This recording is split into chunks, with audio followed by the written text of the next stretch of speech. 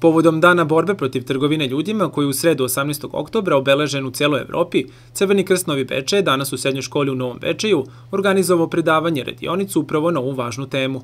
O trgovini ljudima i borbi protiv iste, srednjoškolcima je pričala Dunja Svirčev, saradnica Crvenog krsta Novi Bečej i ovlašćeni predavač za ovu temu. Ove godine se obeležavao pod sloganom e, Ne posmatraj regu, ljudska bića nemaju cenu.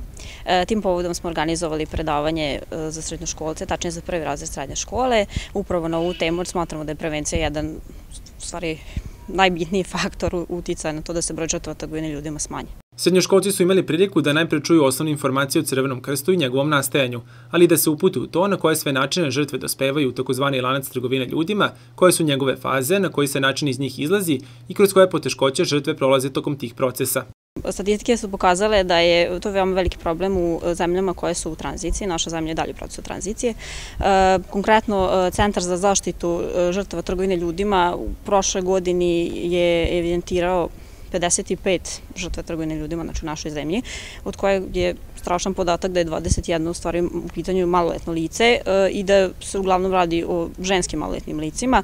U narednom periodu planirana su predavanja još jedno u srednjoj školi planirano su predavanje u osnovnoj školi Mile Čiplić, već su zakazana za 31. oktober i za 3. novembar, tako da nastavljamo dalje s ovom aktivnostima. Bliže se 1. decembar, e, to je svetski nabor protiv vejca. E, takođe, povodom toga ćemo držati predavanja, što će biti najavljeno u narednom periodu. U Republici Srbiji postoje dve nevladine organizacije koje se bave borbom protiv trgovine ljudima i pružaju pomoć žrtvama, a u pitanju su Atina i Astra, koja vodi i prvi SOS telefon u Srbiji, specijalizovan za ovaj problem, odnosno za preventivnu podršku i pomoć i podršku osobama koje su preživele trgovinu ljudima, a koji glasi 011 785 40.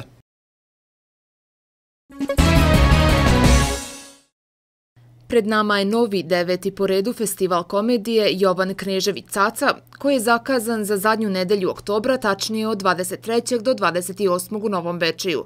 Na programu su pet takmičarskih predstava na Velikoj i tri na dečjoj sceni Popularni festić.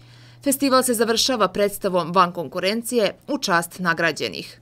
Vrlo smo blizu početka ove godine, posle čini mi se tri godine, e, imamo konačno i vojvođansku predstavu da čast Vojvođanskog pozorišta odbrani. E, u konkurenciji se, što se velike e, scene tiče, predstave iz Aleksinca, iz Teslića, iz Republike Srpske, iz Jagodine, Ljubovije i Stare Pazove.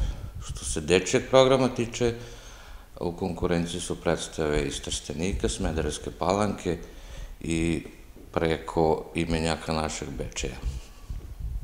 Uz, uz program takmičarski uh, imat ćemo jedno, jedno veče podsjećanja na našeg velikana Joca Savića. Naime, Miloš Latinović je izdao roman u kojem je glavni lik Joca Savić, inače jedan od najvećih šekspirologa sa kraja 19. veka i početkom 20. Uz to, uz to zakazana je i izložba umetničke fotografije, retrospektiva Ivanova i njeno otvaranje predviđeno za drugi dan festivala, znači za utorak 24. Na festivalu dodeljivaće se cacine lente za najbolju predstavu u celini po mišljenju stručnog žirija, po mišljenju publike, najbolja muška i ženska uloga, režija i scenografija. Svake večeri publika će nagrađivati glumca. Iste kategorije važe i za dečiji program. Dosadašnji predstavnici žirija bili su Živojin Žika Milenković, Jelica Sretenović, Lidija Vukićević, Slavoljub Matić, Branka Pujić, Nenad Okanović, Mina Lazarević, a ove godine Zlatan Umanagić uz podršku člana žirija i moderatora, reditelja Aleksandra Volića. Pobednička predstava Velike scene stiče pravo učešća u pratećem programu Dana komedije u Jagodini. Naravno, ulaznice su kao i svake godine standardno u prodaju 200 dinara, set ovaj, za, za svih šest predstava je po ceni od 800 dinara. Ono što, što bi možda trebalo reći da, da eto, javno pozovemo publiku da, da u što većem broju poseti da isprati ovaj događaj. Košarkaški klub Jedinstvo će u subotu 21. oktobra u 19 časova odigrati drugu utakmicu na domaćem terenu u ovoj sezoni, a odmerit će snage sa košarkaškim klubom Chris Cross iz Pančeva. Utakmicu četvrtog kola prve muške regionalne lige grupe Sever najavio je predsednik Jedinstva Srđan Vokić, ali se najpre usvrnuo na prethodnu utakmicu na domaćem terenu, kada je Jedinstvo slavilo protiv radničkog iz Kovina. Kao što smo obećali prošli puta ovaj, kad smo se videli, nadam se da nismo razočarali publiku, onako vrlo interesantna utakmica borbe na tri četvrtine, prelomili smo u zadnjoj i što kaže natrali sve ljude ostanu da nas odgledaju do kraja i naravno revanširali se ekipi iz Kovina, ovaj, pošto su nas pobedili pred kraj, prvog, pred kraj drugog dela ove prošle sezone. Sada nam dolazi u drugoj utakmici kod kuće, dolazi nam Chris Cross iz Pančeva, koji nas je takođe ovaj, neprijatno iznenadio prošle godine.